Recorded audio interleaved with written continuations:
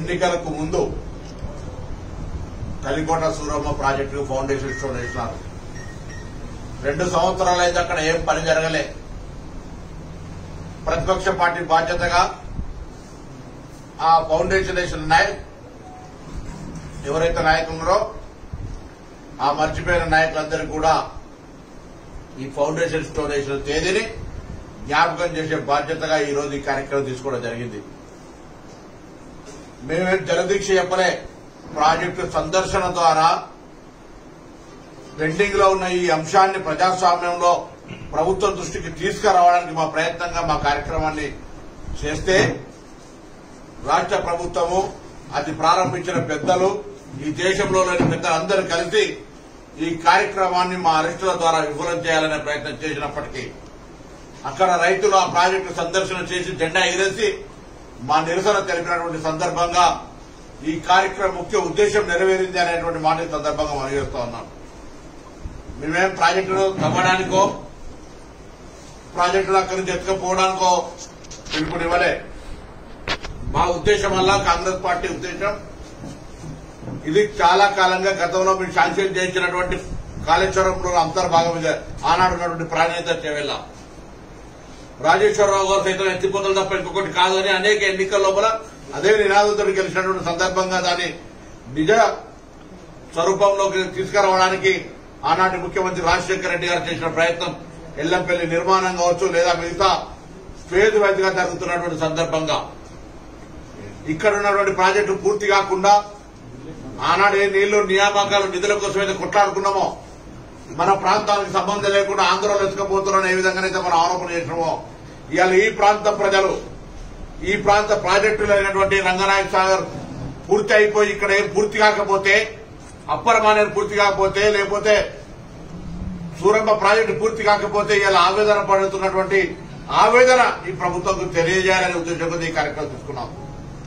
ఒకవేళ ఇప్పటికైనా మీరు దున్నపోతు మీద వాన పడ్డట్టు చెల్లించకుండా ఉండకుండా మీరు యొక్క ప్రాజెక్టు పనులు ప్రారంభించినట్టయితే ప్రతి నెల ఏదో ఒక రకమైనటువంటి నిరసన కార్యక్రమాన్ని కలికోట సూరమ్మ ప్రాజెక్టు వేదికగా చేస్తాం. అది రకరకాల కార్యక్రమాలు రైతుల భాగస్వామ్యంతో మేము మూడు సంవత్సరాలకి ఎన్నికలని మేము ఒకవేళ ఎన్నికల కొరకే చేసేదంటే ఈ ప్రాజెక్టు గురించి ఇప్పుడు మాట్లాడనే మాట్లాడద్దు. ఎన్నికల ముందు మాత్రమే మేము కూడా మాట్లాడాలి.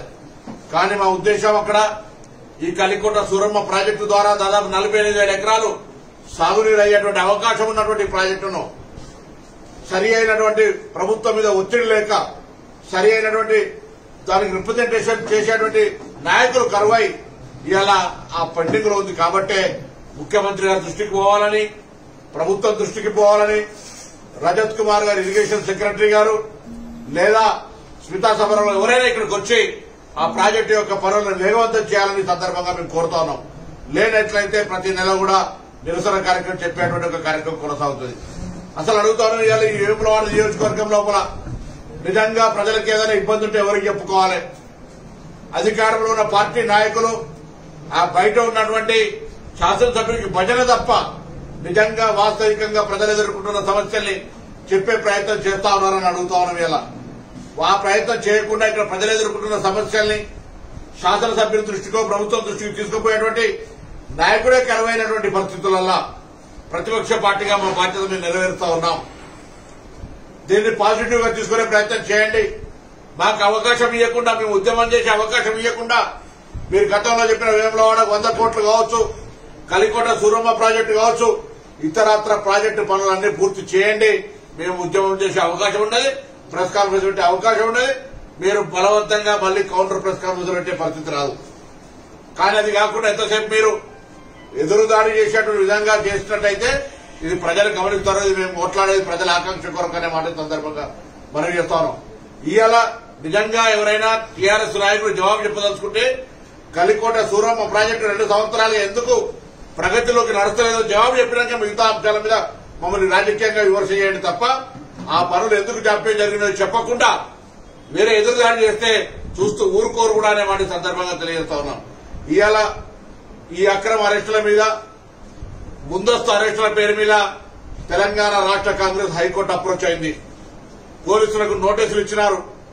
కానీ ఇవల్ల కూడా మేము రాత్రి ముందుగా అరెస్ట్ అవుతారని ఇళ్ళకి బయటికి వెళ్ళి అందువేటు దాని దగ్గరలో ప్రాజెక్టు దగ్గరికి వెళ్దామనేటువంటి ప్రయత్నం చేస్తే ఇక్కడ అరెస్ట్ చేయడం జీవన్ రెడ్డి గారిని అక్కడ మిగతా మా నాయకులందరినీ కూడా ఎక్కడికక్కడ అరెస్ట్ చేసినారు. ఇది దీన్ని పూర్తిగా తీవ్రంగా ఖండిస్తా ఉన్నాం. మా ఆకాంక్ష ఒకటే ప్రజా సమస్యల పరిష్కారం. మేము అధికారంలో ఉన్నప్పుడు ప్రజలకు సంబంధించిన సమస్యల పరిష్కారం చేసినాం. రైతులకు అండగా ఉన్నాం. ఇవాళ కూడా అదే విధంగా ఉండాలని కోరుకుంటా ఉన్నాం. అందుకొరకే ఈ కార్యక్రమం చేపడతా ఉన్నాం. ఇది నచ్చకపోతే ఆ పనులు పూర్తి చేసి మాకు అవకాశం ఇవ్వకండి అంతేగాని ఎదురుదారి చేసేటువంటి ఇటువంటి కార్యక్రమాలు చేయమని చెప్పి కోరుతూ కలికోట సూరమ్మ ప్రాజెక్టు కతలాపూర్ మేడిపల్లి మండల రైతుల యొక్క ఆకాంక్ష. ఆకాంక్షకు అనుగుణంగా పోరాటం చేసే బాధ్యత మాది. ఇప్పటికైనా పనులు ప్రారంభించకపోతే ఇంతకుముందు చెప్పినట్టుగా ప్రతి నెల కార్యక్రమం తీసుకుంటామనేటువంటి మాట మరొక్కసారి కూడా మనవి చేస్తూ ఈ ప్రభుత్వ వైఖరిని ఖండిస్తా ఉన్నాం. వాస్తవంగా కరోనా ఉన్నటువంటి పరిస్థితుల్లో కూడా రైతులు బీడీ వంచుకొని లేదా ఇతరత్ర వాళ్ళకు షరతు చేసుకొని అన్ని గ్రామాల నుంచి రైతులు తరలి రావాలనేటువంటి పరిస్థితిని ఏర్పాటు చేసుకున్నప్పటికీ కూడా ఆశీర్వాద్ గారు రెండు రోజులు మొత్తం ఆ మండలాల్లో కూడా తిరిగి ఇలా నియోజకవర్గంలో ఉండబడేటువంటి రైతుల ఆకాంక్షకు అనుగుణంగా ఆ మండలాల్లో ఉన్నటువంటి వాళ్ళ ప్రజల యొక్క ఆకాంక్షలు మేము ఉన్నామనేటువంటి విషయం చెప్పినటువంటి సందర్భంగా తప్పకుండా రైతుల యొక్క ఆకాంక్ష కోసం పోరాడతామని మరొకసారి కూడా వాళ్ళకు విశ్వాసాన్ని కలిగిస్తూ ఈ అంశం పట్ల చాలా తీవ్రంగా మేము కట్టుబడి ఉన్నాం. ఈ ప్రాజెక్టు నిర్మాణం కొరకు ఒత్తిడి కొనసాగిస్తామనేటువంటి మాట కూడా తెలియజేస్తాం